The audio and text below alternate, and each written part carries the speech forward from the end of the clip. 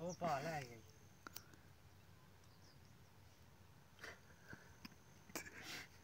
ਉਹ ਕਾਰ।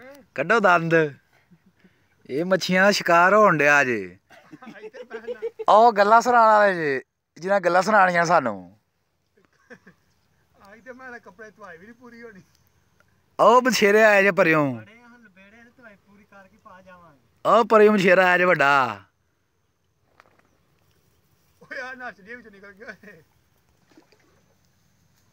ਇਹ। ਜੀ ਸ਼ਿਕਾਰ ਹੋਇਆ ਮੱਛੀ ਦਾ। ਭਾਵੇਂ ਹੱਥੀ ਇੱਕ, ਦੋ, ਤਿੰਨ ਦਾਣੇ ਆਏ ਨੇ, ਪਰ ਸਵਾਦੀ ਪੀਸ ਕਿਲੋ ਕਿਲੋ ਦਾ। ਇਹ ਗੰਜਾ, ਇਹਦੇ ਕਿਹੜਾ ਫੜੀ ਜਾਣੀ ਹੈ ਇਹਦੇ ਕੋਲ ਛੇ ਵਾਸਤੇ ਬੰਦਾ ਨਹੀਂ ਕੋਈ ਆਉਂਦਾ ਦੁਕਾਨ ਤੇ ਨੇ ਮੱਛੀ ਫੜਨੀ। ਉਹ ਮੁਖਤਾਰ, ਤੂੰ ਮੇਰਾ ਭਰਾ ਖੋਤੇ ਟੋਰਿਆ ਕਰ, ਪੱਠੇ ਦੀ ਟੱਟ ਕਰ। ਉਹ ਵੇਲਾ ਮੁੱਛਾਂ ਵਾਲਾ, ਤੂੰ ਗੱਲਾਂ ਨਾ ਵਕਣ ਸੁਣਾਇਆ ਕਰ। ਇਹ ਭਾਫਤ ਖਾਰ ਇਹ ਰਸਾਈ ਸਾਰੀ ਦਿਹਾੜੀ ਰਕਸ਼ਾ ਚਲਾਉਂਦਾ ਏ ਤੇ ਸੇਮ ਜੀ ਮੱਛੀ ਫੜਦਾ ਆ ਕੇ। ਇਹ ਵੇਖੋ ਜਿਵੇਂ ਇਹ